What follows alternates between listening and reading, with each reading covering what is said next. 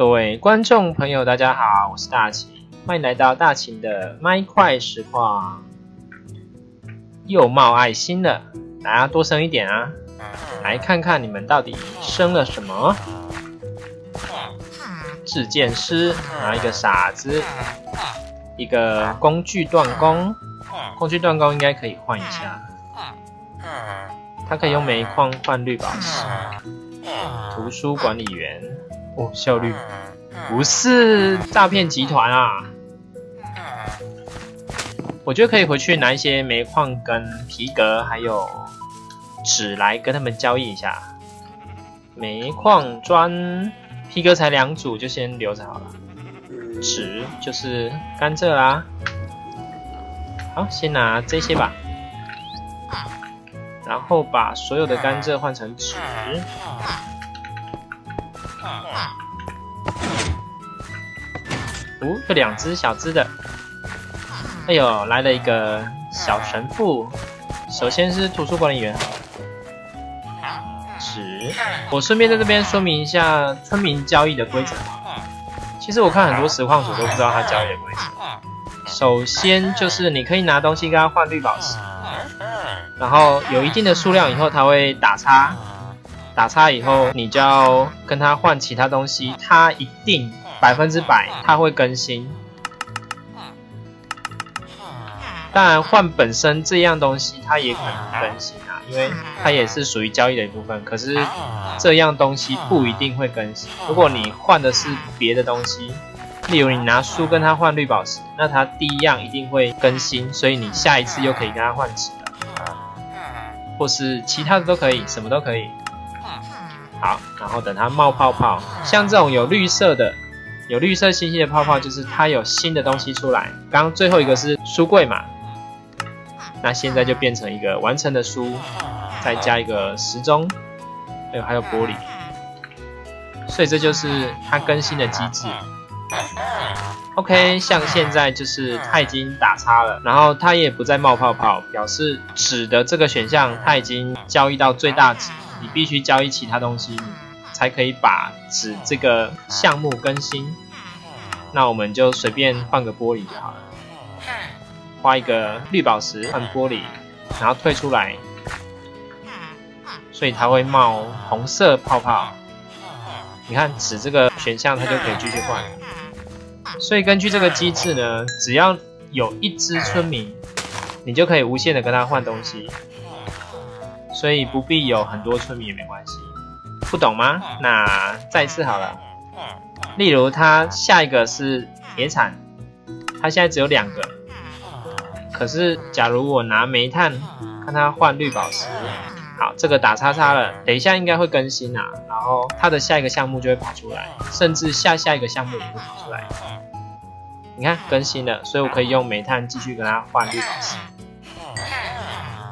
然后下一个出来了，他要用铁跟他换绿宝石。下下一个就是九个绿宝石可以跟他换铁镐。好，然后我也把所有的煤矿换成绿宝石。他最后一个就是钻石镐，刚好我这没有耐久，那我就跟他换一个钻石镐，两个好，很棒，很棒。那就继续多生一点吧。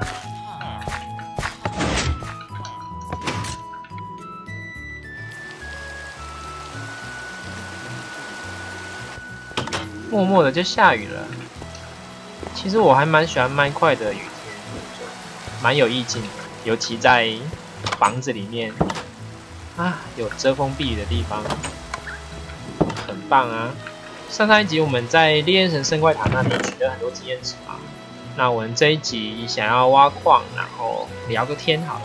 刚做了一些书，有时候我觉得书是多此一举的东西，可是它让你不用一直用补的，附到东西就可以直接附在你想要的武器或装备上面。可是像这个我就不想要，顺便来做一套装好了。好，我稍微做了一些装备，就是下面那些书，还有三个铁质的，还有三把镐，两把铁剑，我们就每个都试，然后如果那一个是好的，我们就把它附上去好了。三。刚刚把所有的东西都附上我，然后刚好把我的青金石消耗完，所以我现在没有青金石，我现在也没有铁，我也没有钻石，表示我要下矿。那我刚刚附到大概是这些吧，嗯，铁剑、布斯克星、耐久，稿子就幸运效率、耐久效率、那个效率、保护的鞋子、保护耐久的护腿、耐久胸甲，还有三本书。两个效率三跟一个很少之刃。那既然要下矿，那我们就把下矿的东西准备一下好了。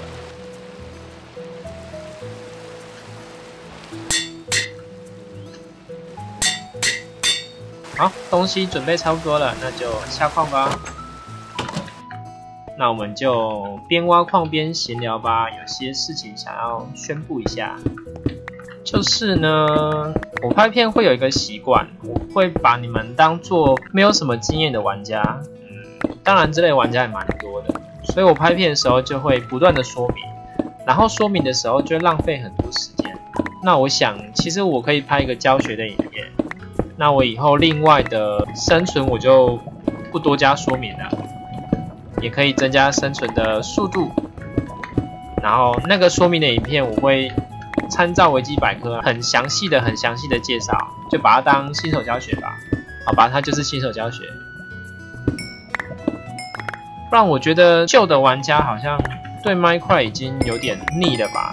连我很喜欢这个游戏，我都觉得其实热情已经没有以前那么多。以前是会翘课啊，然后熬夜挖矿，然后花很长很长很长的时间盖出一个很大的东西。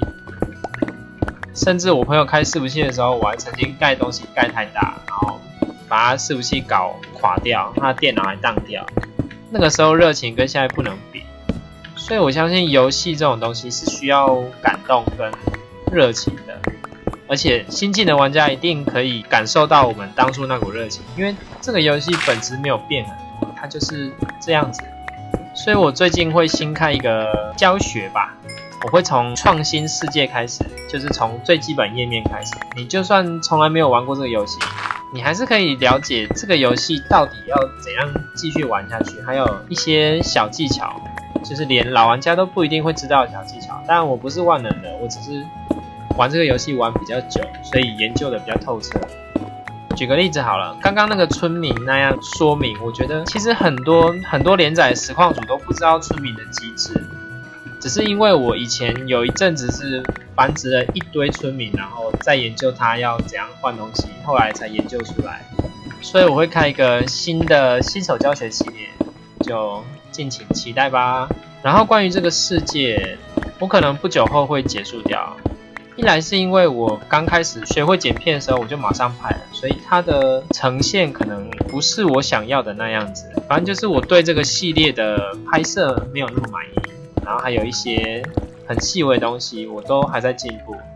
当然，我不会那么快结束掉啊，可能还要等一点一三，或是在一个月后，我把中介龙打完以后，我才会结束掉这个系列。然后第二点就是这个世界没有很激烈的地形。其实我想玩的是巨大化生存。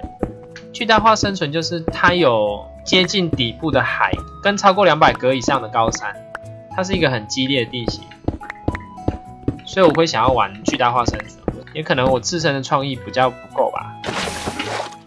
你像我想要盖一个云霄飞车，我还要自己往上盖，还有想盖比较特殊的，例如水库啊。现在这里也没有地形可以盖水库啊，所以到时候我会新开一个系列，且剪片还有一些东西都会更进步吧。好啦，那重大公告差不多就这样吧。刚讲完就自己挖到钻石了。不会才艺，我以为他只有给我一颗，我四颗，一颗，好哦，不错，剩下我就自己默默的挖吧，相信大家也不会想要看我这样一直空空空空空，是很无聊的。